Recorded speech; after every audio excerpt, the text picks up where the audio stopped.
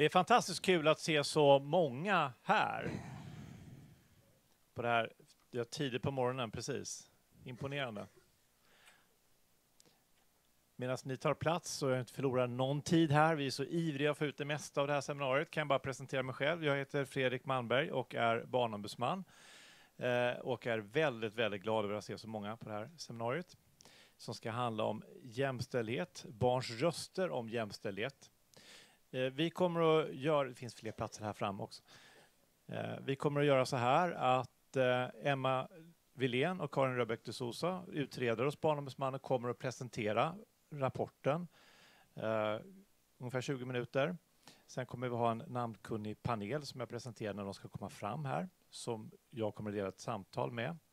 Ni kommer också självklart få chansen att ställa frågor och så, men då gör vi det mot slutet. Så spara era kloka funderingar och frågor till slutet, så kommer ni in. Eh, vi streamar det här seminariet inte direkt, men det kommer läggas ut idag. Det betyder att alla som är här framme får finnas i att bli avbildade och allt det där. Ni som ställer frågor kommer inte bli filmade, men era frågor kommer ju komma med i ljudupptagningen så att man är medveten om det. Så är upplägget. Men jag ska inte orda så mycket mer utan säga ge ordet till er att presentera rapporten. Mm, tack. Hör ni mig där bak? Ja. Välkomna. Emma Wilén heter jag, jag är alltså utredare på Barnombudsmannen och har skrivit den här rapporten med Karin bland annat. Vi tänkte berätta lite bakgrunden till rapporten och eh, innehållet i rapporten. Och bakgrunden är helt enkelt att vi eh, förra hösten fick ett uppdrag från Socialdepartementet som handlade om att lyssna på pojkars och flickors erfarenhet av ojämställdhet. Och syftet med, med det här uppdraget var dels att öka kunskapen om hur normer och värderingar kring kön påverkar barn och unga och om hur barn upplever ojämställdhet och om hur barn kan involveras i jämställdhetsarbetet. Um, resultatet av arbetet är den här rapporten som ni alla har fått och vi håller även nu på att ta fram ett material riktat direkt till barn.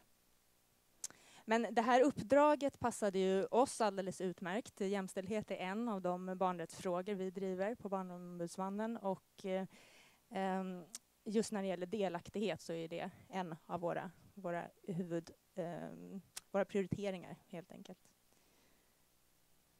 Men frågor som rör barn och jämställdhet är ju intressant för alla oss här inne. Dels har vi regeringens jämställdhetspolitiska mål som vi alla behöver leva upp till.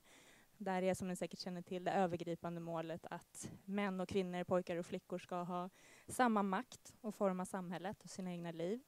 Och vi har även så sent som i höstas fått två nya delmål som faktiskt tydliggör barns roll i jämställdhetsarbete. De delmålen handlar om eh, utbildning och hälsa. Och ett annat, eh, en annan sak som gör eh, eh, det angeläget att just nu prata om, om barn och jämställdhet och barns delaktighet är att barnkonventionen med all sannolikhet blir lag nästa år. Och det här kommer ju vässa barns rättigheter generellt men framförallt när det gäller just barns delaktighet. Um, och sen ett tredje skäl att vi pratar om det här och nu är att vi vet att framgångsfaktorer för jämställdhet är dels att jämställdhet är något som behöver integreras. Eh, det ska omfatta hela vår verksamhet och alla våra målgrupper, det vill säga även, även barn. Och vi vet också att det, det behövs tidiga insatser. Alltså jämställdhetsarbete behöver omfatta barn och de som arbetar med barn. Så det den här rapporten bygger på, eh, eller våra utgångspunkter är i den, är såklart jämställdhet. Eh, pojkar och flickor ska ha samma rättigheter och möjligheter. Eh, sen jobbar vi på Barnombudsmannen med alla, alla barns rättigheter, inte bara oavsett kön utan oavsett alla andra faktorer också, socioekonomiska, etniska och så vidare. Ehm, det här jämlikhetsidealet formuleras i barnkonventionen i artikel 2 och här finns det också paralleller till eh, intersektionalitetsbegreppet som ju förtydligar att för att vi ska uppnå genuin jämställdhet så behöver vi ta hänsyn till, till fler faktorer än kön, helt enkelt. Så det vi har gjort i, eh, under förra året är att vi har träffat 35 barn runt om i landet, 16 killar och 19 tjejer, eh, i tre åldersgrupper som vi i rapporten har förenklat till femåringar, tioåringar och 14-åringar. Och Karin ska berätta lite mer om vad de sa. Mm. Mm. Ja, och då, vi började med um, att på något sätt, alltså, vi diskuterade rätt mycket ska jag säga också uh, innan vi gick ut. Att hur ska vi prata om, uh, med barn om, om jämställdhet och vet man vad jämställdhet är i alla åldrar? Kan man det ordet? Ska vi använda andra ord och så vidare? Men så att vi ställde också frågor kring, har ni hört talas om det här med jämställdhet eller så? Och det var lite olika naturligtvis mellan olika åldrar, men alla barn, eh, eller en del barn säger att de inte vet. En del barn säger att de har hört ordet, men inte riktigt vet vad det innebär. Men rätt så många barn eh, har ändå hört och har en aning om vad det innebär. Eh, det som är ganska tydligt är att de minsta barnen, när vi pratar om femåringar framför allt, så är det många som pratar om, alltså ja, jag känner igen jämställdhet, det betyder att alla är lika värda. Så man ligger kanske i, eh, i sin förståelse av jämställdhet mer lika jämlikhet kanske.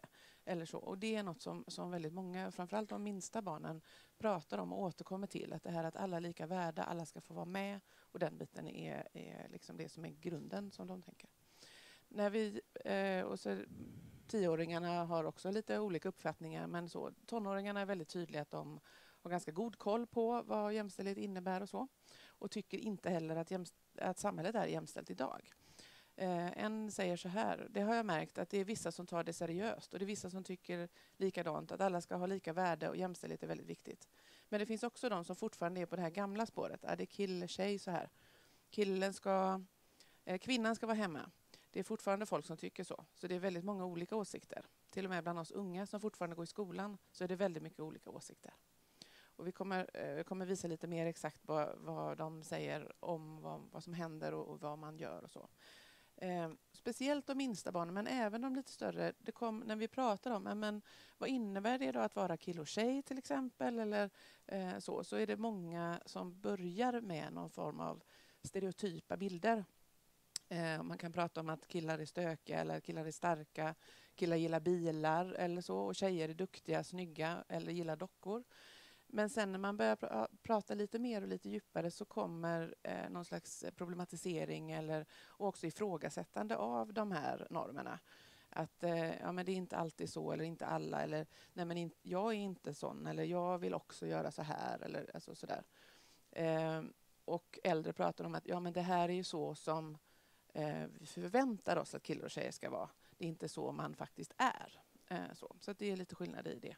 Men barn problematiserar också kön. När vi pratar om killar och tjejer eller pojkar och flickor så pratar man också om, om eh, utifrån transpersoner och, och eh, sådana saker. Så att vi, vi pratar inte bara om, om binärt kön, om man säger så. Men det här är någon första, eh, en eh, liten tjej som beskriver sin teckning som säger att först ritar jag en kjol på tjejer, en klänning, klackskor, för det brukade inte killar ha om de inte försöker föreställa en hen. Och så, drottning, eh, och så drottningen brukar istället för sådana där stora kronor som finns på killsidan ha tiaror. Eh, och de här liksom, ja men försöker föreställa en hen eller försöker vara en hen eller är en hen. Alltså det kommer liksom in i det hela. Det är liksom ingen stor grej eh, överhuvudtaget, vilket vi också kan eh, Ibland diskuteras det om eh, huruvida man är medveten om det. Um, det finns mycket mer beskrivningar i rapporten om hur killar och tjejer är, men, men eh, vi får ta lite kort sådär nu. Eh, det är så här att alla barn som vi har träffat har erfarenheter av ojämställdhet. Vilket vi tycker är, en ganska viktig sak i sig att påpeka, att det har faktiskt alla barn. Sen är det lite olika och hur, vad det är man trycker på och så, men dock. Eh, man pratar väldigt mycket om, om uppdelningar mellan kön, till exempel som på ett sätt som man inte tycker är riktigt okej, okay, eller inte förstår riktigt varför. Eh, men man pratar också om att vuxna framför allt har skilda värderingar på killar och tjejer. Eh, även barn kan ha det. Eh, så så att det kommer både från lärare och föräldrar, andra barn och samhället. Och du sa det i olika åldrar, men det är också så att vi har träffat barnen på skola och förskolor, vilket också blir eh, lite viktigt för att förstå att mycket handlar, när de pratar om de vuxna så är det mycket att de pratar om lärare eller personalen på förskola, inte riktigt lika mycket om föräldrar. Men vi har heller inte valt att fråga specifikt om hur det är hemma eller så, även om en del barn har pratat om det också. Um, en beskriver om det här med uppdelningen så att ja, vi har gjort och beskriver sin teckning då. Vi har gjort så här en skolmiljö där en idrottslärare säger killarna går dit och tjejerna går dit. Och så delar han upp dem utifrån deras kön. För han tror typ att de har olika nivåer då på alltså sin sport.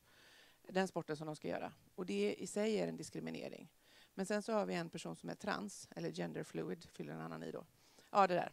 Han vet inte, han är inte riktigt säker på vart han vill gå eller vart han får gå. Och då är han väldigt confused där i mitten och läraren tar ingen hänsyn till det. Så här får man liksom in lite allt möjligt. Dels är det uppdelningen, dels handlar det om förväntningarna som är olika, dels handlar det om, om binärt kön eller, eller hur man ska se på eh, kön på olika vis. Eh, så att de får in väldigt mycket i, eh, i sina svar kan man väl säga. Um, och när det handlar om eh, lärare så är det flera barn som säger att ja, men vi har en del bra lärare men vi har mest fått egentligen beskrivningar av hur lärare faktiskt eh, har olika förväntningar eh, så, eller och behandlar killar och tjejer olika. Ehm, så att en del, ehm, det här med att, jag kan läsa citatet på en gång. Alla känner till uttrycket de lugna tjejerna, de tuffa killarna.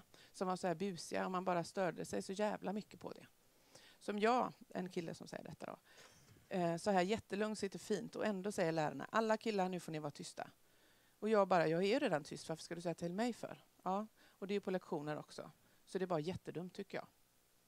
Eh, flickorna eh, berättar också till exempel att de får vänta länge. De kan sitta och hålla uppe handen i en kvart och får inte hjälp medan eh, killarna ja, de kommer, räcker upp handen och lärarna är direkt där. Så att tjejerna uppfattar dem som att eh, lärarna är snällare mot killarna. En del killar uppfattar att killarna får mer tillsägelse. Så att man upplever i alla fall en uppdelning och så, så ja, kan man fundera över det. Jo, jag ska också säga att tjejer får eh, också hantera killars våld. Eh, redan från de riktigt små så börjar man prata om att eh, kärlek börjar med bråk, den här typen av, eh, eller att de får, eh, flickorna får sitta eh, varannan flicka, varannan pojke och det är för att flickorna ska lugna, att det inte ska bli bråkigt och så. Det berättar barnen om. Och det gäller alla åldrar kan man säga. Um, när speciellt de större barnen pratar om eh, samhället eh, i stort, eh, för det är framförallt de största barnen eller tonåringarna som pratar om det, så pratar man om ojämställdhet i form av löneskillnader, könsdiskriminering, eh, i hur det ser ut med omklädningsrum, att det kan vara olika eller, eller att det bara finns två olika, eller hur man ska säga. Eh, men man pratar också om, och det gäller barn i alla åldrar, att barn, barn själva så att säga, gör ojämställdhet eller eh, beskriver det på olika vis. Att man gör uppdelningar i lag av, av eh, killar och tjejer. Och det kan bara både vara att man eh, uppfattar att det finns olika förväntningar men också en del som säger att ja, men jag vill som tjej spela hockey men det fanns inte tillräckligt många tjejer så jag kan inte spela hockey. För Det finns bara lag för killar. Eh, och så. Sådana där saker kan det också vara. Eh, det är också det att de uppfattas att man retas. Om tjejer leker med killar eller om killar leker med tjejer så blir de retade. Och, eh, ofta får de höra att de då är kära eller så, men eh, vilket inte alltid uppfattas som ett så positivt sätt att eh, prata om det utan mer som ett ret. Liksom. Eh, och framförallt killars normbrott vad gäller detta eh, straffas, verkar det som, ännu mer. Ännu fler killar som bryter mot den normen och leker med tjejer, har på sig rosa saker, leker med leksaker som, som förknippas mer med flickor som blir eh, tillrättavisade på olika sätt eller så. Eller retade, eh, får kommentarer, blir uteslutna och så vidare.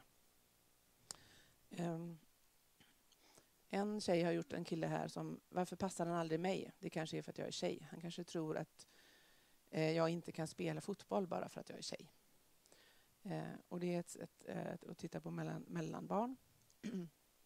och här är det en annan eh, pojke som eh, sitter och leker med en tjej och då är det de här två andra här och då är det killar som retas retar den så att säga, eh, första pojken framför allt. Ehm, så, kolla vad fjantig han är, ha, ha, ha, han leker med en tjej. Och då tänker han, vad elakt sagt å ena sidan, men jag struntar i vad de säger också. Så det finns också en hel del motstånd som kommer upp här. Ehm, som Emma var inne på så, så är det här med, med eh, jämlikhet och, och paragraf 2 eller eh, intersektionalitet blir också ganska tydligt i barnens svar. Framförallt är ålder centralt. Stora barn eh, Jämfört med små barn kan man ha skillnader, ibland uppfatta större skillnader mellan stora och små barn än killar och, och tjejer.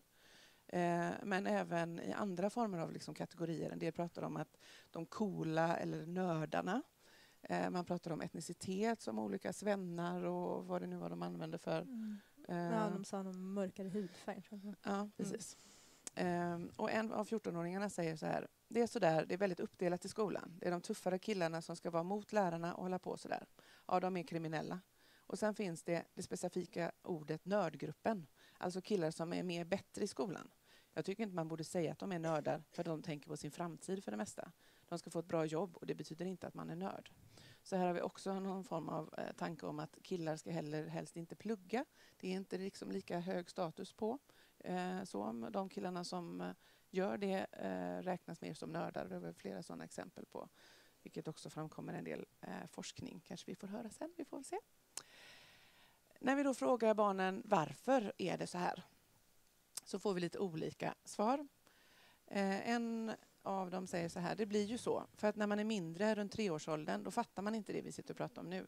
Då ser man, ja, då går man till leksaksaffären och så ser man, det där är tjejernas, det är killarnas, det är rosa, det är blått. Det är ju så. Och en bild säger mer än tusen ord. Om man är liten så förstår man mer på färger och sånt. Så att om man är tjej då så går man självklart till den rosa sidan, bara för att det är så samhället är uppbyggt. Så att många barnen, eh, de allra största allra tydligast, men även de yngre pratar om att detta är någonting som börjar när man är ganska liten. Eh, och sen säger också eh, en så här, faktiskt, alltså män, jag vet inte eh, om Ja, det är ju för att de är så uppfostrade under uppväxten. Men de roffar gärna åt sig när det finns något de kan ta. Som att räcka upp handen och svara på frågor, skrika rakt ut. Och det är någonting som skiljer väldigt mycket i skolan mellan tjejer och killar. Tjejer kan sitta och räcka upp handen och sen kan någon kille ropa rakt ut och läraren pekar precis där. Men som sagt, de gör motstånd. Eh, de säger att det inte var killarna som låter och så vidare.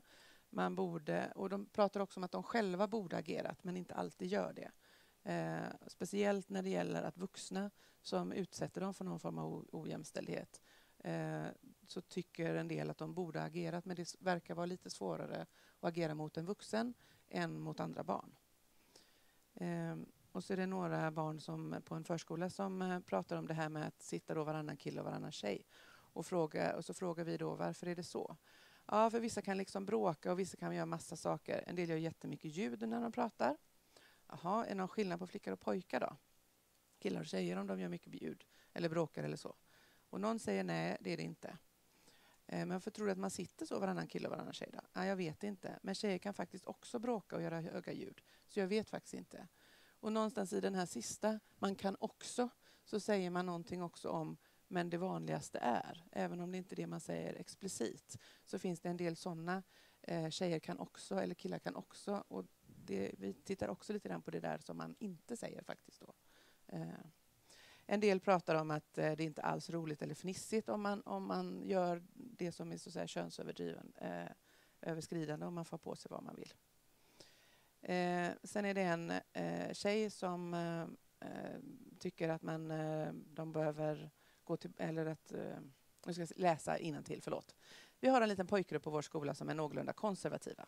De brukar oftast bli utskällda av vår skolas inte lika konservativa människor. Men en dag hörde jag dem diskutera om att de tyckte att vi borde gå tillbaka till 50-talet när kvinnor fick mycket lägre lön än vad de får idag. För då skulle alla vilja gifta sig och då skulle de bli hemmafruar. Då gav jag dem en rejäl utskällning. Jag tycker det är så extremt viktigt. Vi måste lära Eh, dem så att den här idiotideologin inte går vidare till nästa generation. Hyfsat starkt så. Mm. Mm. Sen var ju en del av uppdraget handlade ju om just hur barn själva kan inkluderas i jämställdhetsarbete. Och det här gjorde vi genom att fråga barn vad de tyckte skulle, alltså vad, vad de vill förändra helt enkelt. Och som Karin har varit inne på så var det ju tydligt att alltså, jämställdhet och jämlikhet är någonting positivt och det är någonting liksom barnen vill, vill ha. Och de hade en hel eh, massa tips om vad som behövs för att vi ska komma dit. Ehm, de, det är tips som riktas både till eh, politiker och beslutsfattare, till vuxna i deras närhet och också till barn och unga själva. Ehm, här är några röster från de äldsta barnen, 14-åringarna. De, var, Eh, de pratade väldigt tydligt om att vi behöver nya normer. Vi behöver förändra normer. Och då handlade det dels om att motverka de dåliga normer som de ser omkring sig. Eh, avgifta alla barn är ett förslag. Från, eh, då, det är en kille som pratar om den här dåliga påverkan som man ändå ser att många, många barn har med sig från tidigt. Eh, och sen det här eh, var det citat som Karin sa om att lära så att den här idiotideologin inte går vidare. Eh, och en annan 14-åring säger, ifall vi motverkar det idag så att det inte sprids vidare till nästa generation, då kan vi om kanske två, tre generationer leva i ett helt fördomsfritt samhälle. Det skulle kunna vara en dröm. Eh, sen pratar de om att det behövs nya värderingar, bland annat feministiska värderingar. En eh, tjej säger, jag ser feminism som någonting som är vägen till jämställdhet, samhällets verktyg för att nå jämställdhet. Och de pratar också om att det behövs mer kunskap om vad feminism innebär. De är medvetna om att det är många som inte riktigt känner till det. Så här säger en. Alltså ganska många män och killar, de tror liksom att feminism är att tjejerna ska få det bättre än killarna. Men det är det de inte fattar, att de vill ha det liksom likadant.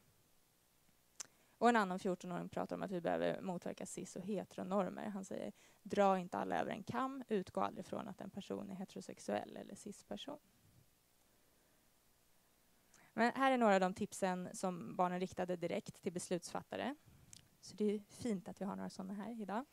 Eh, fråga barn om deras åsikter och råd innan beslut i frågor som rör barn. Utbilda personer som arbetar med barn om genus, jämställdhet och hbtq.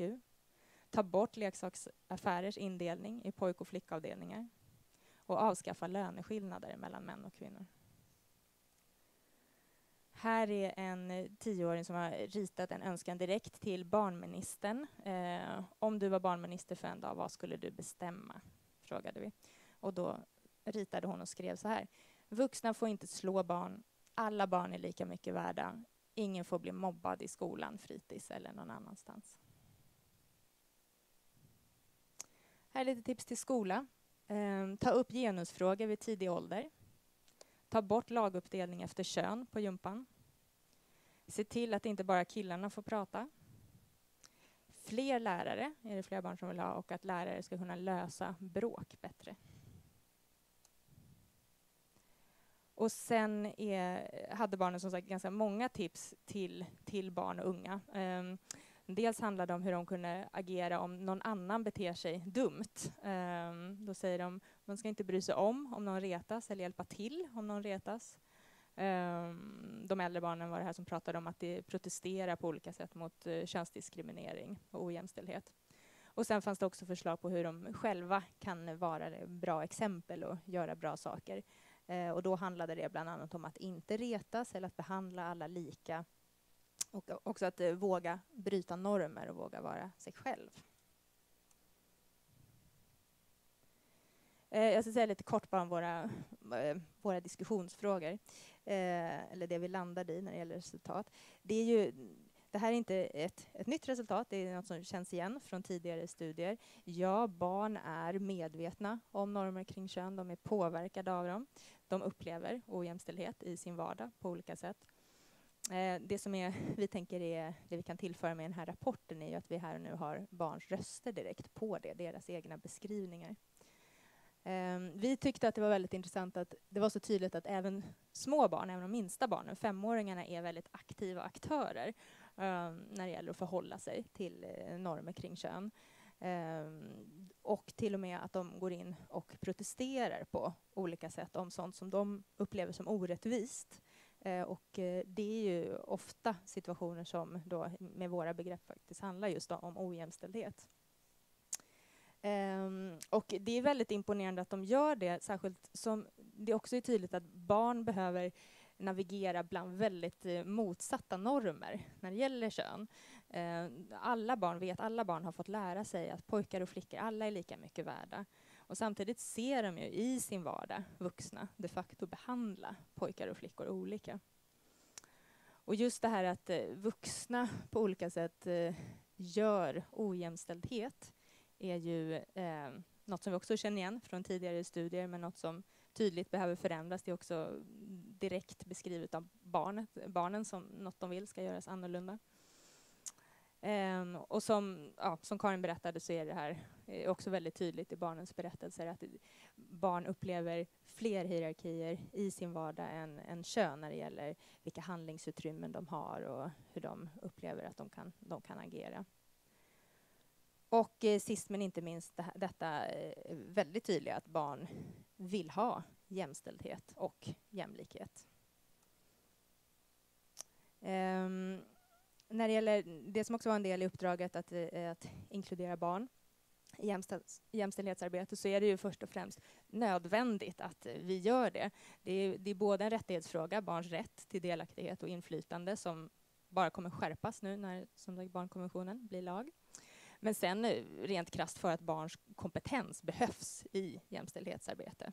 Vi behöver deras kunskap och erfarenheter och, och åsikter i det. Och vi vill också lyfta att vi, alltså, alltså, barn behövs i alla delar av processen när det gäller jämställdhetsarbete, från problemformulering till genomförande och uh, utvärdering. Och här är sammanfattat alltså barnens tips på hur gör vi då? Hur, hur når vi jämställdhet? De har pratat om att börja tidigt, behövs långt ner i åldrarna, bredda perspektivet, titta på fler faktorer än kön, involvera flera aktörer, det är många som måste jobba tillsammans, eh, arbeta på flera nivåer, alltså barnen har beskrivit både eh, sånt som rör normer, beteende i vardagen, fysiska miljöerna, hur de ska arrangeras och eh, lagstiftning och regelverksfrågor. Och eh, de har också pratat om vikten av integrering, att det här inte är något som kan lösas med, med punktinsatser. Eller någon sån enstaka studiedag eller något liknande. Precis. Mm. Eh, ja, och eh, någon vi har som lite slutcitat här, eh, en eh, kille som säger det borde inte vara könet som gör vem vi är. Det borde vara vilka actions vi gör i livet. Vad vi gör, har gjort i livet som gör oss till den vi är, inte vem vi är född som. Mm. Så det får avsluta vår lilla presentation och så mm. får ni läsa vidare. Så lämnar vi ordet till Fredrik. Tack Karin, tack Emma för en jättebra presentation. Jättevälkomna fram. Eh, ja, ska vi presentera er kort också. Pernilla Baralt, du är statssekreterare på Socialdepartementet hos barn och äldre och jämställdhetsministern Åsa Regnér. Eh, Teresa Fernandes Lång, du är undervisningsråd på Skolverket. Eh, nu hann inte vi hälsa, men Lukas Gottsén, eh, docent, universitetslektor på institutionen för barn och ungdomsvetenskap, Stockholms universitet. Louise Linneo, ordförande Män, Män för jämställdhet. Ni är jättevälkomna fram. Eh, nej, men först tänkte jag bara börja med den här allmänna frågan. Ni har ju läst rapporten och hört den här eh, genomgången. Blir ni förvånade över resultatet? Någonting som ni känner, det här, wow, det här måste man ta tag i. Någon särskild tanke? Vad är er första tanke efter prestation? Vi skickar runt mycket. Men det är väl det här att, att barn är så otroligt kompetenta och att det här att göra barn delaktiga Eh, är, någonting, är en process som vi måste skynda på. Som presentatörerna sa här, att vi behöver den här kompetensen och dessutom så måste vi såklart börja med barnen eftersom de är framtiden.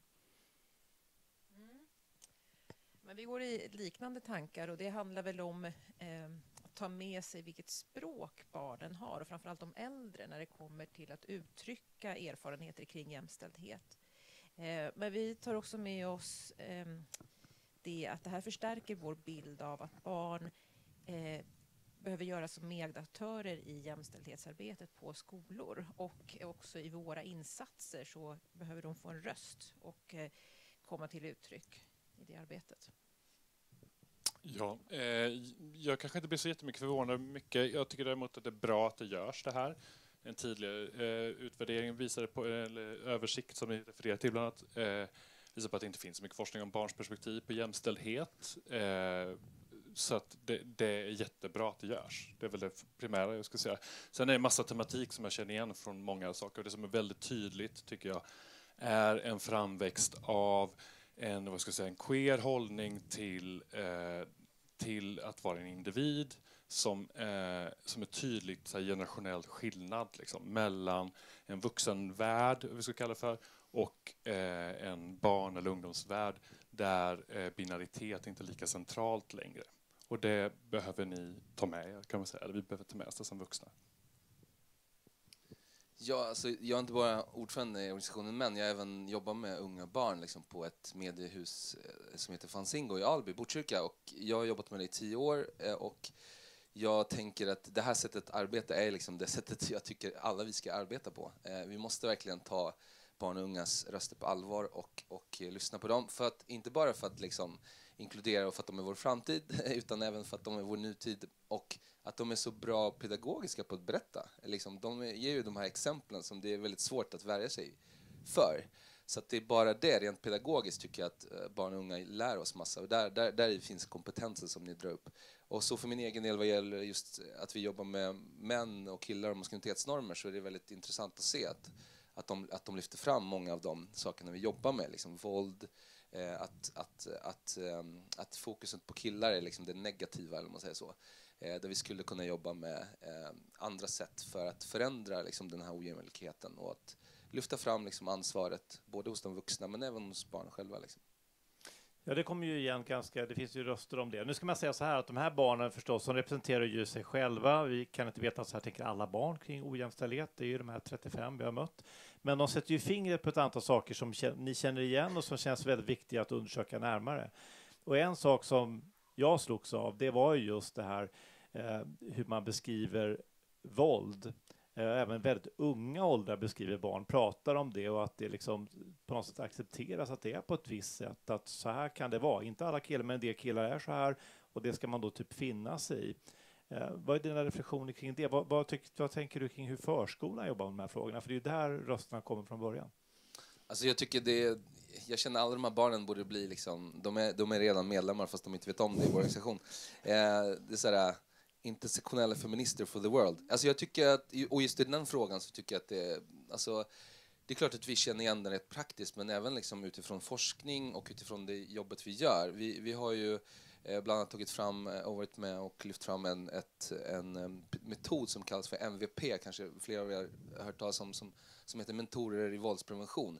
Där, på, där pekar man just på vikten av att arbeta liksom redan tidigt. Alltså med, med, liksom egentligen från, från födseln till döden kan man säga så måste vi adressera de här frågorna hela tiden och på olika sätt eh, och, och, i olika slags grupper. Eh, och framförallt det, det, som är, det, som, det som man vill peka på, det som är framgångsrikt arbete med det här, det är att att man, att man försöker komma ifrån den här uppdelningen förövare och offer utan att man pekar på att alla vi är möjliga så kallade aktiva åskådare. Vi kan alla vara våldsförebyggare på olika sätt eh, och att det är liksom en positiv kraft som tar över på något sätt det negativa. Eh, min erfarenhet av att jobba med unga, att det som vi till synes ser som en slags eh, negativt, du vet, så här slåss och våld och sådär, att det behövs inte mycket för att vända den en, energin så att säga inom situationstecken till något väldigt positivt för alla och stärkande för hela gruppen. Jag tycker till, till exempel att i skolor, liksom, jag förstår inte att vi inte lägger mer tid vi skulle spara så mycket tid på att förebygga konflikter och våld om vi från början på något sätt byggde liksom lag så att säga, att alla fick eh, liksom få utvecklas som individer liksom, i en skolmiljö eller förskolan till exempel. Jag har själv två ja. små barn så jag, jag, känner att jag går igång här. Ja, det gör du, det är bra. Men nu går micken vidare till Teresa, tänkte jag först om det är okej. Okay. Eh, eh, Skolverket, förskolan, skolan. Vad tänker du då kring? För det som är också slående, det är ju hur barn beskriver i och för sig hur andra barn kan göra ojämställdhet. Men ännu mer slående är hur man beskriver hur faktiskt vuxna gör ojämställdhet, som man då gör motstånd mot på olika sätt, som vi hörde i presentationen. Men vi pratar ju väldigt mycket om hur vi ska jobba med att barn och unga, att de ska få ett jämställdhetsperspektiv, flickor och pojkar lika mycket värda och så vidare. Men det blir rätt häpnadsväckande när man hör röster från femåringar som beskriver att de har de här värderingarna, men det är de vuxna som inte har det. Så att säga. Vad tänker du kring det? Ja, alltså skolformerna är ju väldigt många och det ser olika ut över hela landet. Så att vi, ehm, och, och Skolinspektionen har inte några nya granskningar vad gäller till exempel grundskolan, men vi har en väldigt ny vad gäller jäm, eh, jämställdhet i förskolan. Och den visar ju på att det finns brister och stor variation mellan olika skolor och hur både personal är medveten och hur man organiserar och vilka intentioner man har med verksamheten. Och vi har då Ehm, just nu håller vi på att ta fram en kompetensutveckling för förskolan som handlar om identitet och jämställdhet. Och eh, där tar vi med oss flera delar som den här rapporten visar och bland annat det, det ni nämner, den här normalisering av, av våld. Ehm, men också hur barnen gör motstånd, hur deras berättelser kring sin vardag. De är väldigt duktiga på att beskriva konkreta exempel. Så det arbetet pågår. Men blir det också hands-on? För de beskriver ju det barnen det här med att det är väldigt konkreta situationer med lärare som delar in i lag på olika sätt och sådär. Uh, kommer ni åt det så att det blir den här vardagen som barn och unga beskriver där man upplever att man, man könas på olika sätt? Vår intention är ju att, att eh, pedagogerna, och då är det alla då som jobbar i förskolan, ska ges möjlighet att diskutera utifrån en vetenskaplig grund också, forskning vad den visar. Diskutera i praktiken, omsätta i vardagen, gå tillbaks i grupp, så ett slags kollegialt lärande. Det är mm. vår liksom intention. Sen beskriver man ju också att det är speciella dagar. Då är det en dag man pratar om det här speciellt.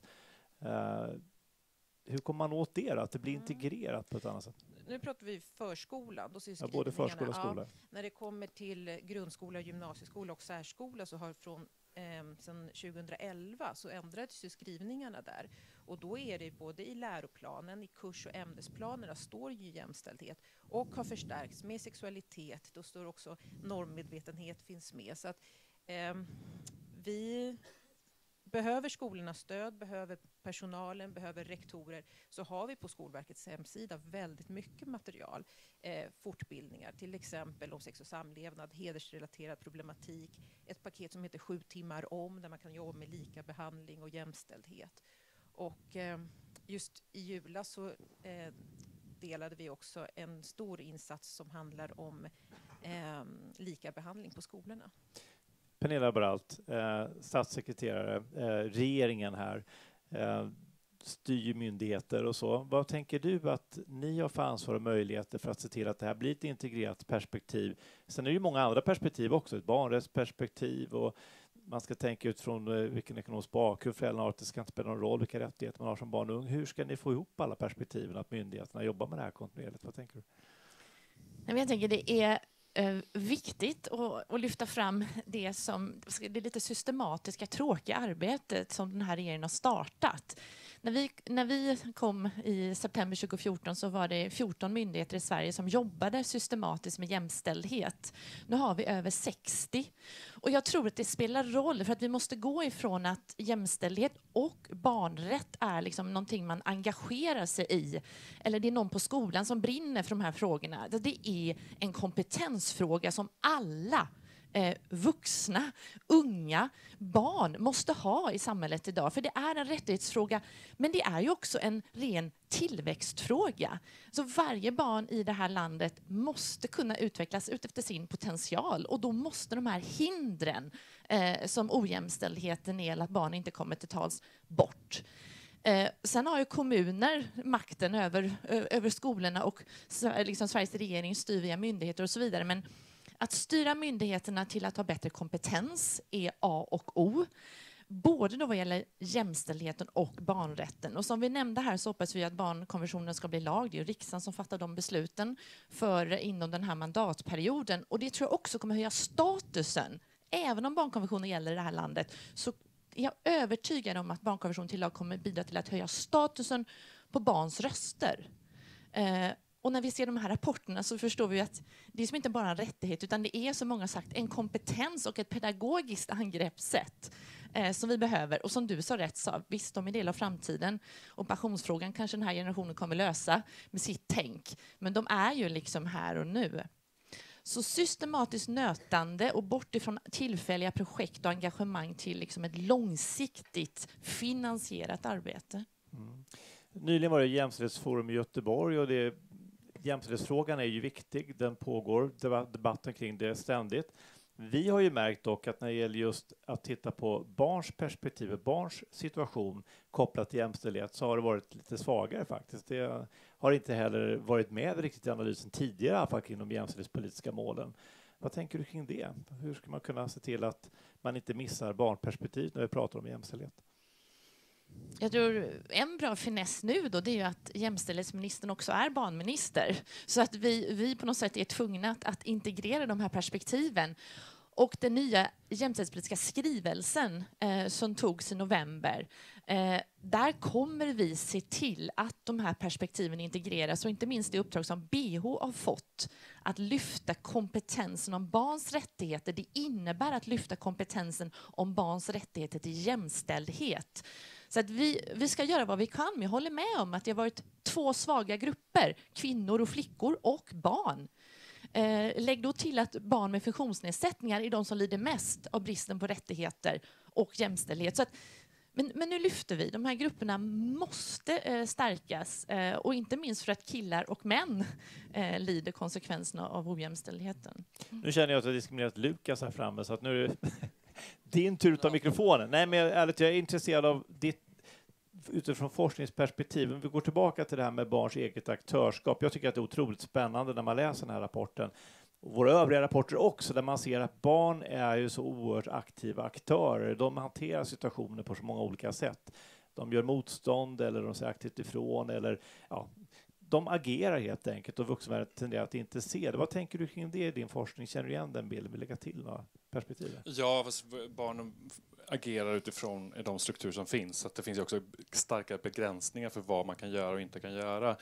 Eh, jag tänker när jag läser den här så jag tänker ibland på, på ett klassiskt begrepp som vi kallar, eller så här, eh, pratar om feminist killjoy. Och de här kidsen är ibland feminist killjoys i relation till sina lärare och så vidare. Och det är jättefint att se. Liksom. Men det, jag tror också att vi inte kan eh, förvänta oss att det alltid kommer vara så. Och vi kan inte lägga det på eh, barn och ungas eh, omyndigas rätt heller. Utan det som vi har varit inne på här, det behöver eh, lärare behöver vara, och i det här fallet då, men vuxna generellt, var, behöver ha bättre kompetens och bättre medvetenhet. Och det, jag blir inte så förvånad exempelvis att det handlar om idrott. Det känner jag igen från annan forskning exempelvis, att där är det så här, det är, så här, det är det mest, den manliga bastionen, den är ganska eh, mm, könsuppdelad på grund av referens till biologi och så vidare. Eh, så den typen av berättelser hör jag från andra, andra typer av sammanhang också. Så, så att jag tänker att, eh, och, där, och det är också där som elever tenderar att reagera mest också så, och känna sig fördiskriminerade på olika sätt. Det jag skulle vilja säga mer också, det är ett, ett dilemma i det här, är att det vi kan tycka att de här barnen framställer, alltså det, det är ganska fina berättelser på ett sätt, det är en del då, dåligt i det, men det är också fina berättelser om aktörskap, men det finns också andra typer av aktörskap som vi inte gillar med barn. Det vill säga när de inte är jämställda och när barn själva representerar ojämställdhet, när barn själva är våldsamma eh, och så vidare. Och den typen av eh, aktörskap behöver uppmärksammas också och det behöver också ha en ar arbeta med. Exempelvis så är det så att eh, piken för våld i nära relationer är 16 år, 17 år. Det är dubbelt så vanligt för en ung tjej mellan 16 och 21 att vara utsatt för våld i nära relation än om du är över det. Trots det, så när vi satsar på eh, insatser för, eh, kring våld, då blir det våldsprevention som MVP. Då är det allmänt. Om vi fokuserar på förövare, vet att förövarna främst är män. Eh, men när det gäller behandling så är de vuxna männen. Så ingen når de här eh, barnen som är 13 år uppåt och som utövar våld själva. Och den typen av kompetens och aktörskap. Och det är ju väldigt viktigt. Jag vet exempelvis Karolina Överlin har gjort en sån studie eh, i situationen i Norge där man uppmärksammar just det här våldet mellan tonåringar, mellan killar till tjejer. Eh, precis som du säger, så det är, väldigt, det är en väldigt relevant fråga. I den här rapporten så ser man ju barns röster kring det också i och för sig. Alltså de här när man väldigt tidigt pratar om att det här eh, kärlek börjar med bråk, vad är det för kommentar? Vad säger den egentligen? Den är ju verkligen inte oskyldig i det här sammanhanget på något sätt. Och också det här med, som man beskriver, att lugna tjejer placeras mellan bråkiga killar. Eh, så att det börjar ju tidigt, man ser de här mönstren tidigt också, men också då hur vuxenvärlden hanterar det. Så att det är ju intressant. Ja, men det är normalisering av, av mm. killars våldsamhet och aggressioner så att säga, som reproduceras genom och det, vi får också tänka på att det handlar om två olika former av våld. Det ena handlar om våld mellan killar och i offentliga mm. sammanhang, det andra är en privat, privata sammanhang så att säga, som har olika värden och normer kring det. Ja.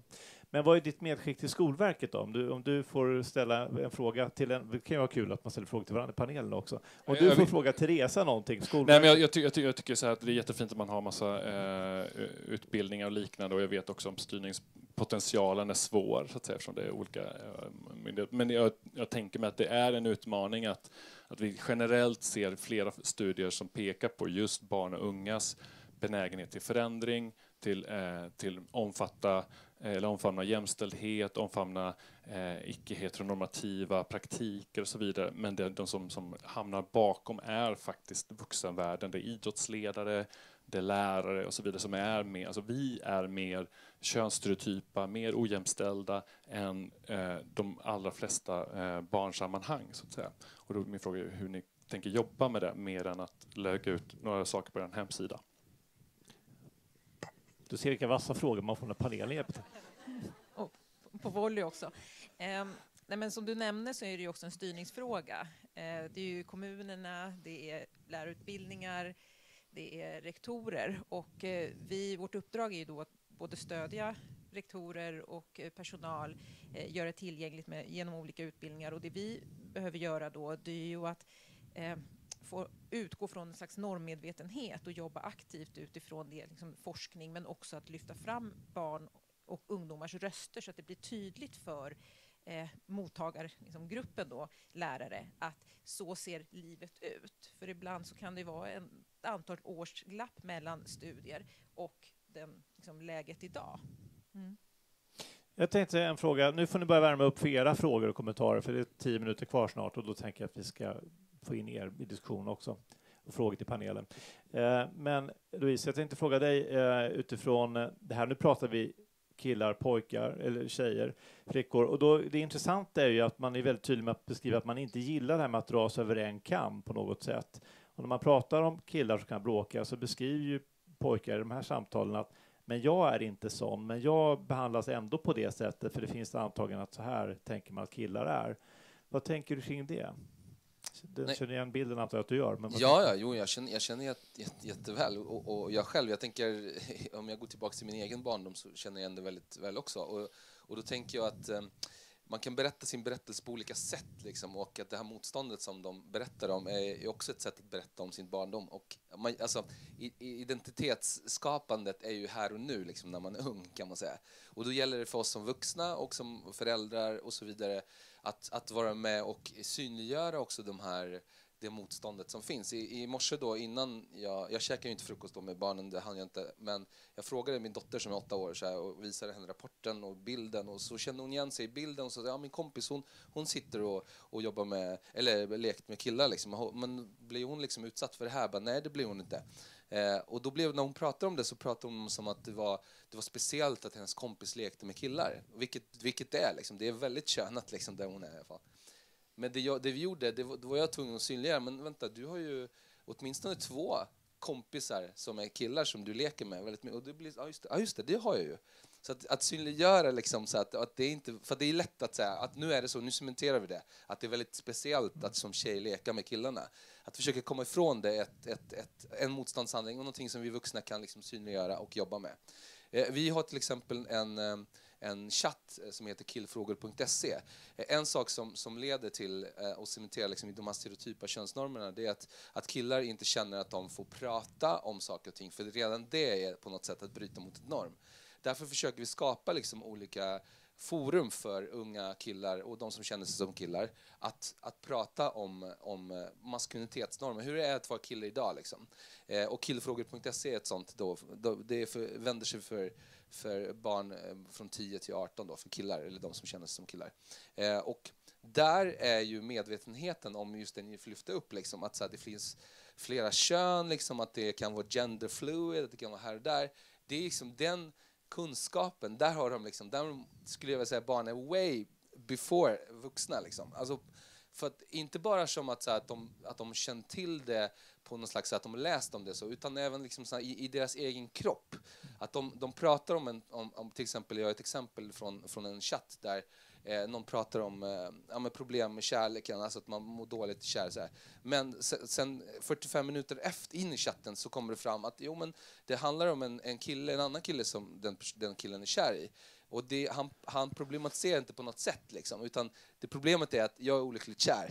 Mm. det är det som är grejen. Och då gäller det för oss som vuxna, eller de som chattar, att på något sätt så här, eh, eh, på något sätt synliggöra, synliggöra motståndet och normalisera eh, att två könsnormer inte behöver finnas och att eh, heteronormer inte behöver finnas. Men samtidigt liksom hjälpa till när motståndet kommer. Alltså det, det är så här, det, det är både och på något sätt, liksom, att man måste jobba med. Eh, jag vet inte om jag svarar på din fråga, men... Nej, men det var intressant hur som helst, annars skulle jag avbryta dig. Men vi gör så här, nu tar vi frågor, eh, reflektioner från publiken, om det är någon som vill ha någon tanke, fundering, fråga till någon i panelen.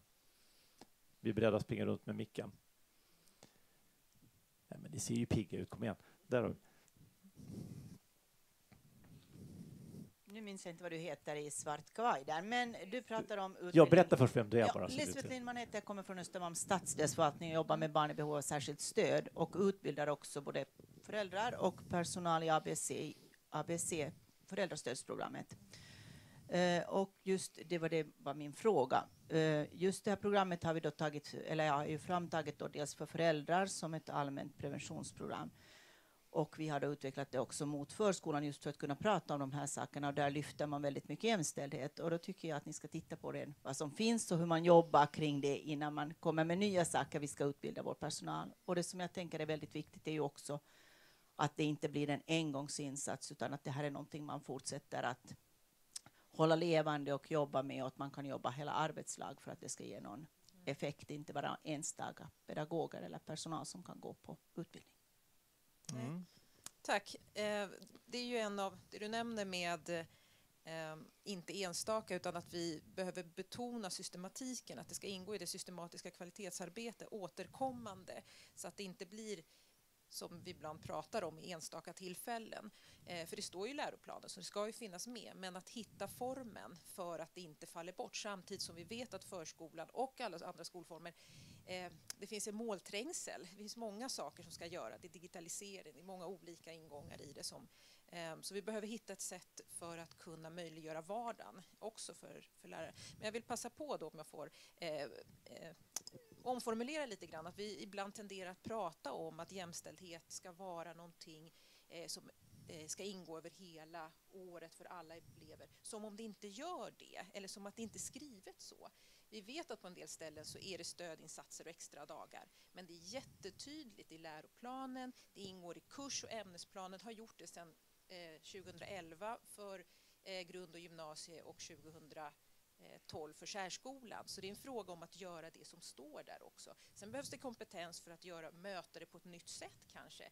Eh, se det utifrån olika perspektiv. Vad innebär det? Och det är därför jag ibland liksom säger att det finns på nätet. Vi har för idrotten en egen liksom, eh, möjlighet att granska sin ehm, eh, undervisning. Där finns det också kopplat till forskning som pratar om den här rapporten på pojkarnas plan halva och hur det reproducerar maskulinitet. Så att, det är en fråga om att göra det som står, fylla på och där behövs det göras bara in, det blir väldigt tydligt, jag tror ändå det, när man hör barns egna röster och de beskriver situationer, eh, då blir det väldigt naket hur det kan fungera när det inte fungerar optimalt. Också förstås när det fungerar bra. Det finns ju exempel där de beskriver verkligen lärare som har tagit tag i och hanterar och ser till att jobba med att det ska vara jämställt. Det finns också med i rapporten.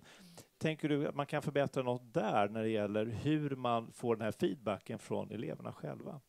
Ja, eh, vi ser ju allt mer att, att, eh, att delvis så säger skollagen att eleverna ska ha ökad inflytande över sin eh, undervisning i eh, kopplat till deras mognadsgrad. Men forskning visar att det är tvärtom, att yngre barn har mer inflytande än äldre.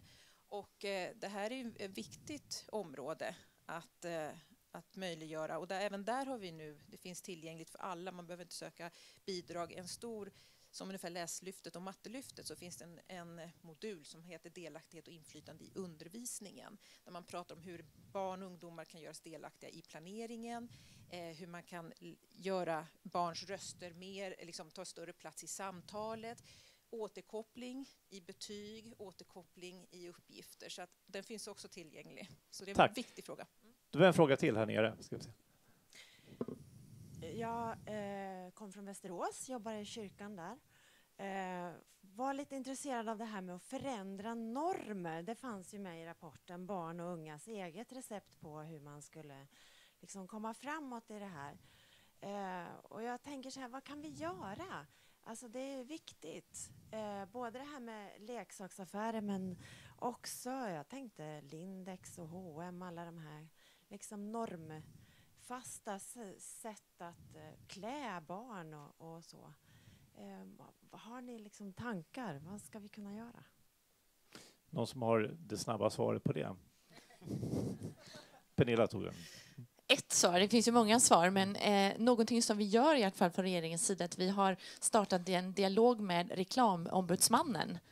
Eh, och första frågan var vilken kompetens sitter eh, när man bedömer om en reklamkampanj är könsstereotyp eller inte. Har man kompetensen i denna myndigheten att fatta de rätta besluten?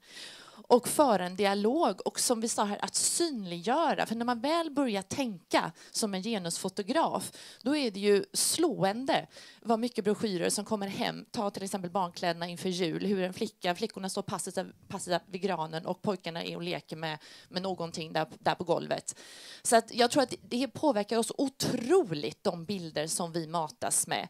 Eh, och där har vi en stor frihet och det ska vi ha i Sverige vad gäller tryckfrihetsförordning och allt annat. Men vi måste föra en dialog. Och jag tror suget efter en annan typ av bilder, eh, en annan typ av, av, av reklam är enormt. Och där tror jag vuxenvärlden igen ligger efter vad den unga generationen vill se. Mm. Konsumentmakt också. Där har vi en till fråga. Hej, Cecilia Sjölander och jobbar på Stiftelsen Allmänna Barnhuset. Jag tänker på en aktör som jag saknar lite grann här idag och det är föräldrar.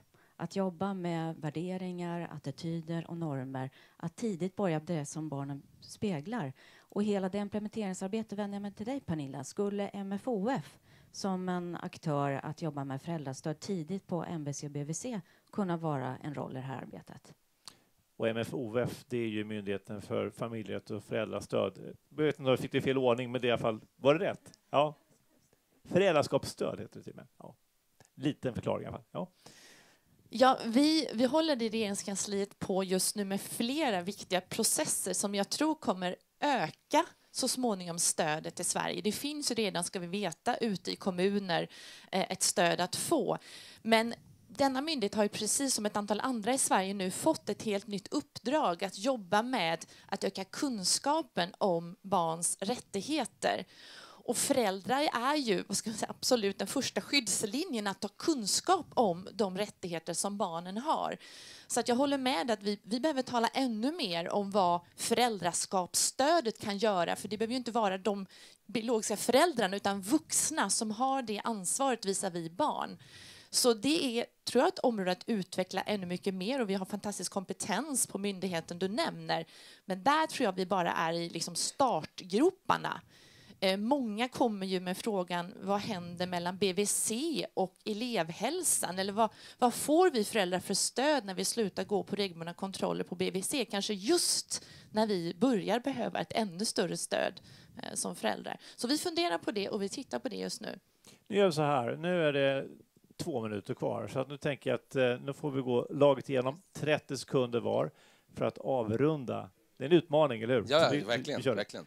Eh, jag pratar väldigt snabbt. Jo, eh, vi har eh, till exempel, jag visste inte vilken tröja jag skulle på mig idag, jag tog på mig den här, Men at Work. Eh, vi har föräldrarutbildningar, vi, alltså vår organisation erbjuder det. Det är bara tio kommuner i hela Sverige som kan erbjuda till föräldrar. Det är bästa sättet att, för det är det jag ville säga, att det är det bästa sättet att, att, att öka kompetensen men också få möjlighet för föräldrarna att diskutera de här frågorna. Så att pappagrupper som vi vill jag slå ett slag för att liksom vi ska införa egentligen i hela Sverige, borde det vara obligatoriskt. Vad skulle vi säga på 30 sekunder? Du har sagt det. Tack. Lukas? Nej, jag skulle knyta an till det många varit inne på, det här med vuxenvärlden, vuxenvärldens betydelse och vår egen betydelse och att hur vi själva behöver reflektera över våra praktiker, våra normer eh, som myndighetsfolk och andra och som lärare, som eh, kuratorer och så vidare. och så vidare. För det är vi som också är med och reproducerar negativa könsstereotyper och liknande.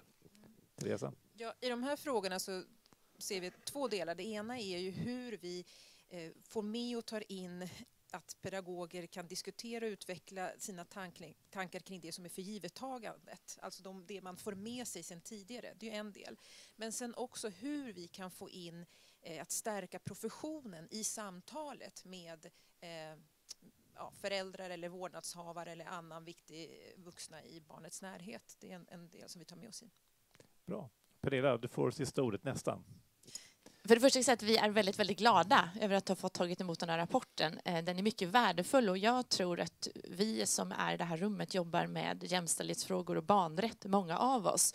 Jag tror att vi har liksom inte utnyttjat den den förändringskraft som ligger hos barn och unga själva. För att vi kommer behöva den kraften för att göra de förändringarna som krävs. Både vad gäller att uppnå ökad jämställdhet och att få barn mer delaktiga i samhället. Och det är nästan helt galet att vi inte har gjort det eh, med den kraft och den kompetens och det stödet vi behöver. Så att hur ska vi göra för att ta tillvara mycket, mycket bättre på den kraften? Och då är det det här, hur blir vi bättre på att skapa delaktighet och lyssna som jag tror är A och O. Och för att påminna din chef, då, barnminister Åsa Regnér, om det så har vi laminerat den här teckningen eh, som är gjord just till Åsa ju, från ett barn, så att du får ta med den, så hon får sätta upp den på sitt rum. Så blir det en evig påminnelse om att ta vara på den kraft som barn och unga själva har. Tack för att ni kom hit eh, och eh, vi ses igen på nästa frukostseminarium, eller hur? Men tack för att ni kom.